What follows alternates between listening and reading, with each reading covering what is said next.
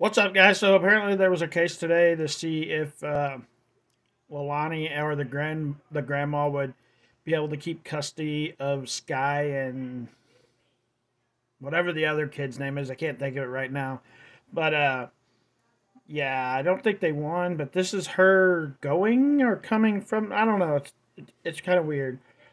It looks like they're at the house, but there's a lot of cops here, so maybe they weren't at the house. I don't know, but here we go. There she is, evil bitch.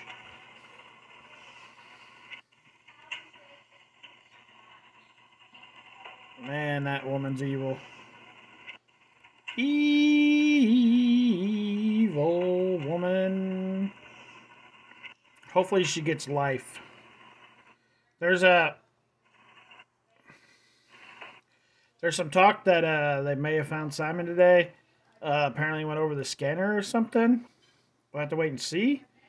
Uh, hopefully they did because then we can get this rolling and we can get this girl put in jail and then prison.